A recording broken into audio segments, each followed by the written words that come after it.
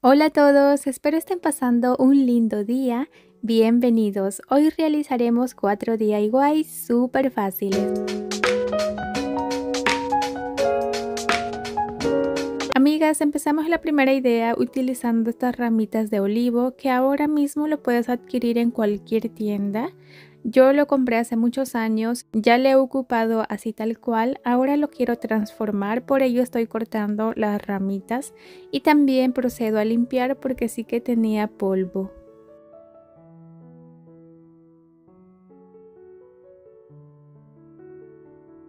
Algo que me gusta hacer con las hojitas de tela es mantenerlas eh, sin hilos porque pues muchas veces se desprenden esos pequeños hilos y lo que hago es cortarlos muy sutilmente para no perder la forma. Y creo que de esa manera siempre lucen bonitas. Lo próximo es una rama seca del grosor que prefieras y con este taladro le estoy haciendo unos hoyitos un poco inclinados. Si no tienes esa herramienta puedes hacerlo con un tornillo. Y ahora ya que hice los hoyitos adecuados voy a proceder a pegar las ramitas del olivo. Algunas las estuve cortando porque estuvieron muy largas y las vamos a distribuir como más nos guste. Esta idea lo observé en una decoración que se me hizo tan linda así que intenté recrearlo para mi cocina. Y bueno, lo próximo es una maceta cualquiera que tengas en casa. Yo voy a utilizar esta de terracota o arcilla que me gustan mucho. Y ya saben que yo amo los colores claros, así que voy a pintarlo de blanco. Dejando pequeños defectos eh, rústicos lo que son el color de la maceta. También sé que a muchas de ustedes no les gusta como ese efecto desgastado, así que pueden tomar la idea y pueden pintarlo completamente de un solo color. Para rellenar el interior estuve reciclando pedazos de icopor que muchas veces acumulamos en casa, ya que cuando adquirimos algunos objetos delicados siempre vienen con este material. A mí me gusta guardar algunos porque sé que en algún momento me van a servir como en esta ocasión. En el centro voy a perforar un poquito, luego añadimos pegamento y prendemos la ramita. Para que se vea más orgánico cubriré el icopor con musgo seco natural. Lo que está de verde es artificial. Este musgo lo conseguí hace mucho mucho tiempo, desde ese entonces ya no he vuelto a comprar. Lo que sí trato es de cuidarlo, de reutilizar y de no desperdiciar.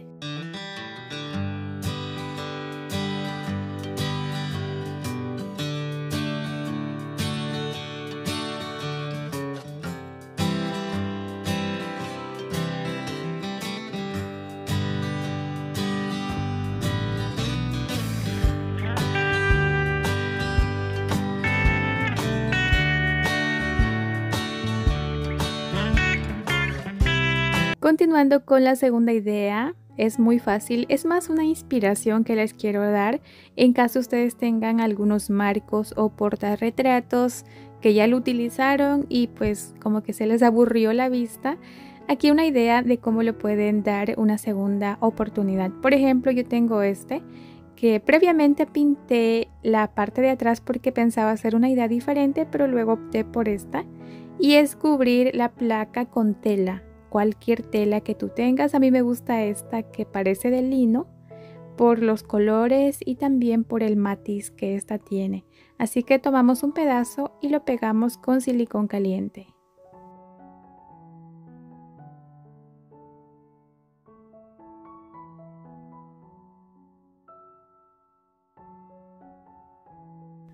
Recuerden que el pegamento solamente se aplica en el lado posterior, lo siguiente es buscar una imagen que nos guste, lo puedes buscar en libros, revistas. Por ejemplo, vean estas bellezas que tengo en una revista que ya es viejita. Quería cortarla de color morado, pero pues no estoy decorando con ese tono, así que opté por la otra opción que es buscar imágenes en internet, imágenes vintage, lo que prefieras. Y yo estuve imprimiendo algunas florecitas en un papel cartulina. Es similar a un papel fotográfico que de hecho lo estuve reutilizando y esta imagen lo pegué en el centro. Ahora sí regresamos la placa al marco y listo. Ahora veamos el resultado final.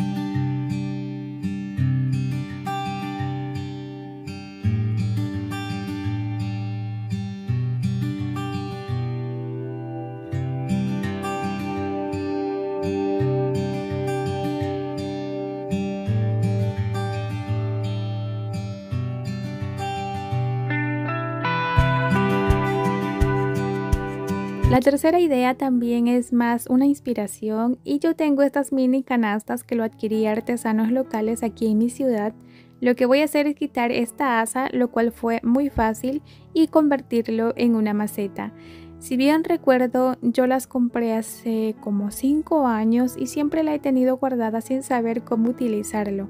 Luego lo que hice fue aplicarle brochazos de pintura blanca porque ese color amarillo así solo casi no me gusta. Ya con el blanco creo que a mi gusto luce mejor. En el interior voy a colocar estas piedritas acrílicas que también no utilizo así que voy a rellenarlo. Ya ustedes lo pueden sustituir por otro material. Y finalmente coloqué unas piedritas blancas.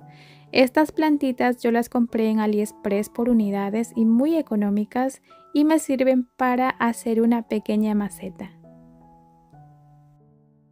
Esta es una idea que ustedes pueden recrear con cositas que tengan en casa.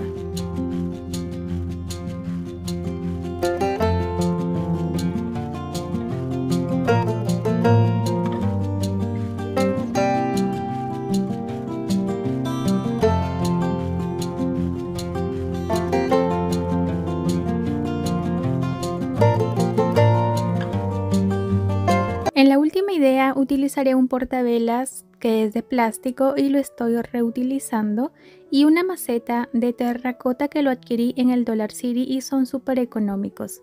Voy a unir las dos piezas con silicona líquida. Por si les interesa, en la descripción del video les dejo el ID o el link de los portavelas que compré hace mucho tiempo. Son de AliExpress y bastante económicos. Luego de que secó el pegamento, voy a pintar toda la pieza de color blanco.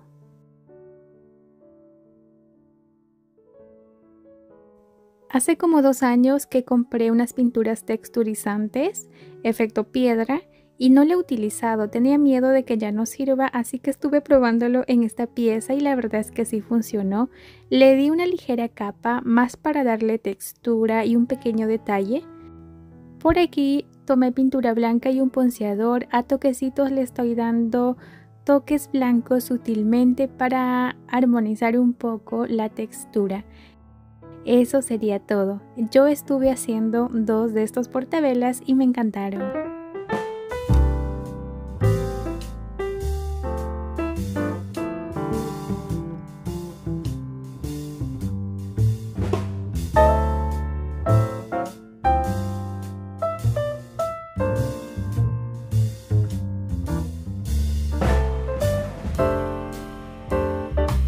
Amigas, eso fue todo por hoy. Espero que estas ideas les haya gustado, les haya inspirado. Fue un video rápido, pero lo hice con mucho cariño. Si les gustó, no olviden regalarme su hermoso like. También déjenme saber en los comentarios cuál fue su favorita.